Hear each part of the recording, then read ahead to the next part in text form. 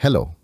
In this WAGO tutorial, we will show you how to create a project in the WAGO Energy Data Management application, how to record measured values and data points, how to assign names, and how to create and manage log files. The procedure presented here will give you a reliable system for most applications that will create a very good database. To demonstrate this, we have the following setup. First, a PFC200 with WAGO Energy Data Management installed. A 750-430 digital input module is plugged into the PFC. A switch is connected to the first input to record the switch states. Next is the 750-458 temperature module with a temperature element and then the 750-495 three-phase power measurement module. Here we have connected a single phase load, in this case the PFC itself, and measure the voltage in L1 and, using a current transformer, the current in L1. We start by using the controller's IP address, the WAGO Energy Data Management in the web browser and log in. As we want to record the energy data with a timestamp, that is date and time, it is important that we first check the date and time and set them if necessary. Then we want to create the digital input with the switch as a data point. So we go to the Inputs tab and then to the digital inputs underneath. The eight inputs of the input terminal are already listed. If we flip the switch on input 1, it will change from false to true. To record this value in the data logger, we need to create a data point. To do this, we tick the box in front of selection and click the button to add the data point to our project. We see here that a name and description have been automatically assigned. At this point, we recommend that you change the name, as this will be used in the log files as column heading. There are two reasons for this. Firstly, the log files are often further processed at another level. So by people or systems that cannot work with the slot and channel number. And secondly, although WAGO Energy Data Management can easily process all special characters, using them at the next level can lead to unnecessary problems. We therefore recommend that you use simple names and avoid all special characters, punctuation marks, umlauts, etc. and replace spaces with an underscore.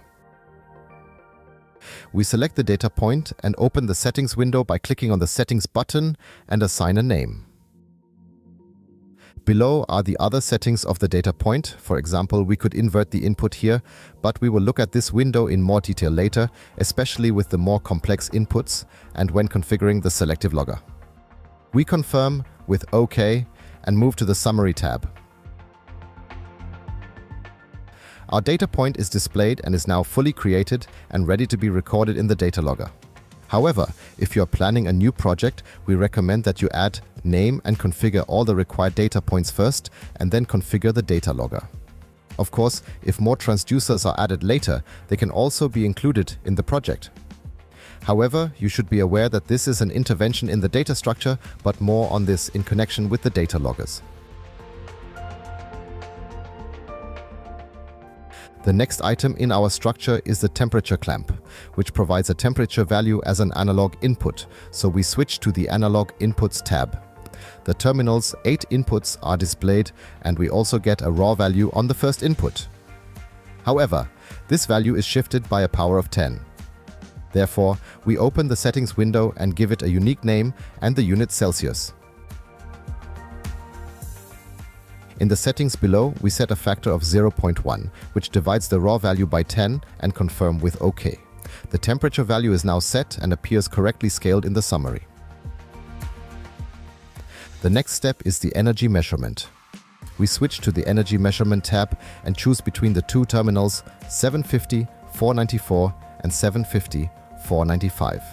We will switch to the 750 495 tab as this is the one we have installed all values provided by the terminal are displayed. As you usually have several measurement modules, the module number is displayed at the top. The measurement modules are then numbered in the order in which they are installed, from left to right. In our case, only one module is installed, so only the first module can be selected here. If one or more couplers are used, an additional field will appear below to select the coupler number and the module number on the coupler. For our example here, we want to create two data points. First, the total active power and then the total active energy. The raw power value is already displayed. We open the settings window, give it a name and want to display the total power in kilowatts, so we set the unit to kilowatts. To display the value in kilowatts, we need to multiply the raw value by a factor of 0.001. Confirm with OK and the total active power in kilowatts is scaled and displayed in the summary. The total active energy is shown as 0 watt hours because we have just started to measure energy. To illustrate a common pitfall in energy measurement, we will specify an energy value using WAGO IO check.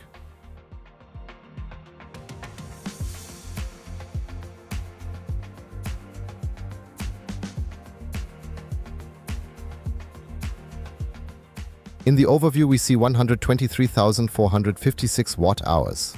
We note the value and switch to EDM. The total active energy is also displayed, but shifted by a power of 10. This is due to the settings of the power measurement terminal, which can provide different scales. We can adjust this directly in the EDM by opening the configuration window with this button. First, we need to wait until the terminal's configurations have been read, that is until the area at the bottom turns green. Here we see that a scaling value of 10 watt-hours is set. We change the scaling to 1 watt-hour, write the configuration, and the total active energy is correctly displayed as a raw value of 123,456 watt-hours. Now we give it a nice name and set the unit to kilowatt-hours.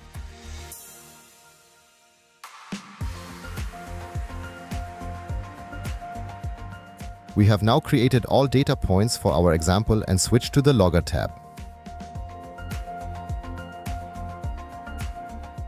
There are two different types of loggers available in WAGO Energy Data Management.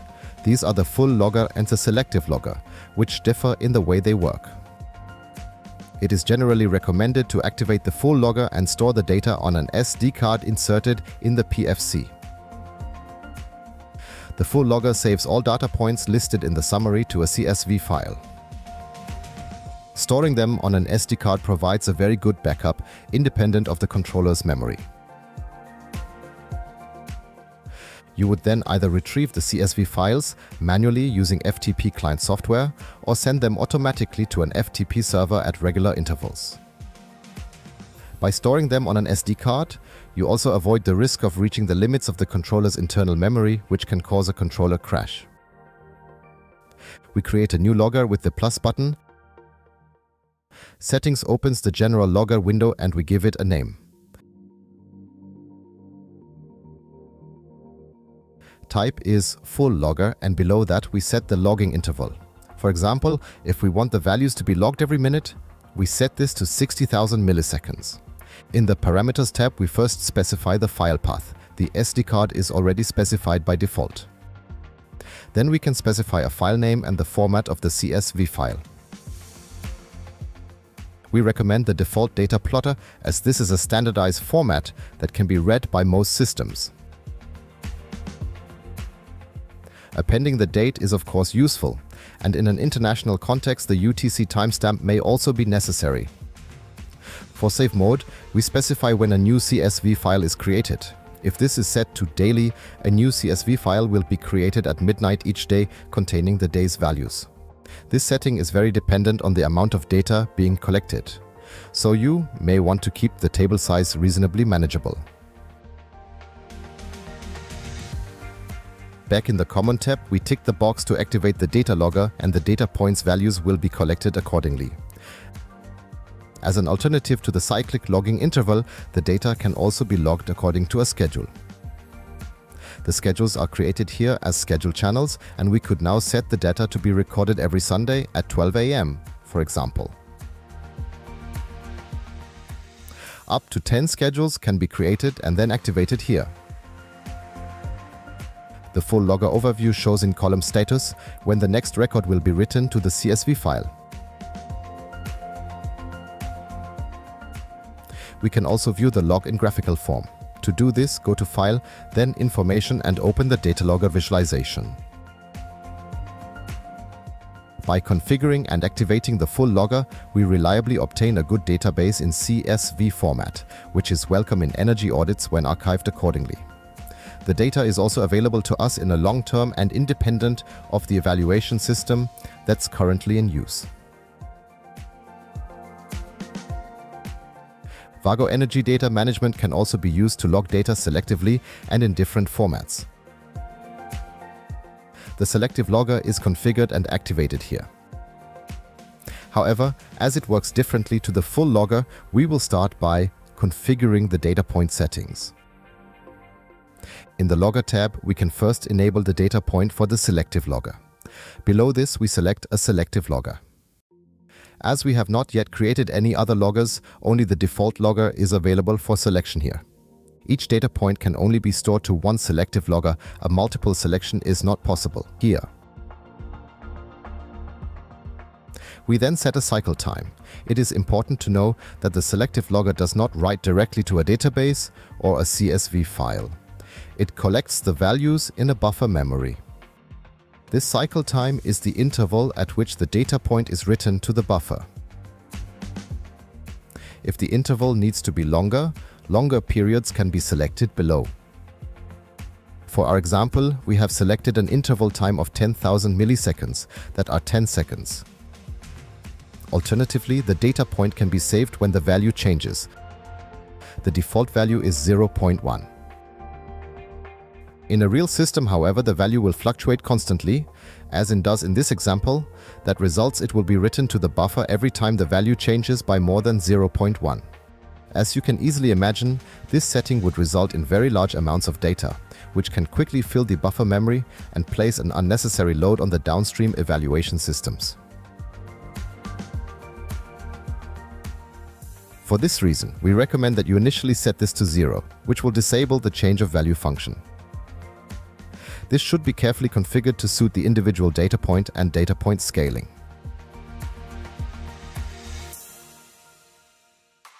A good example would be our digital input, which is the contact at door 1. Here it is less important how the value changes over the time than when the value changes. In this case, we would set the cycle time to zero, thus disabling the cyclic polling and set or leave the tick in the value change box. We also configure the logger settings in the other data points temperature hall 1 and total active energy hall 1.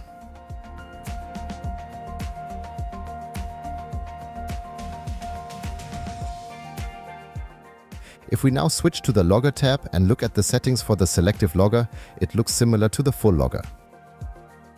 First, there is the checkbox to enable the logger, then the logger ID and the destination. The default destination is set to the local database, which is required for advanced visualization. Alternatively, the selective logger can be saved as a CSV file in a MySQL database or an Influx database.